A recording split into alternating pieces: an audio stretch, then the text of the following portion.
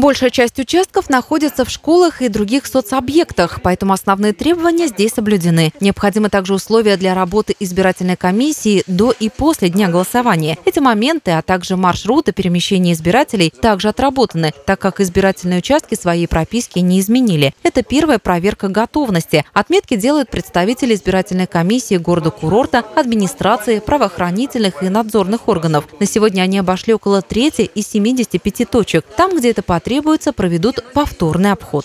На 80% э, на сегодняшний день избирательные участки готовы к проведению данного мероприятия политического.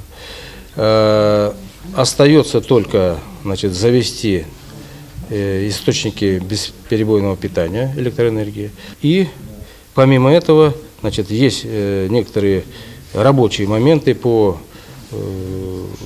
настройкам видеокамер. А остальное все, в общем-то, соответствует тому требованию, которое предъявляется для того, чтобы избирательный участок был готов для проведения э, выборов президента.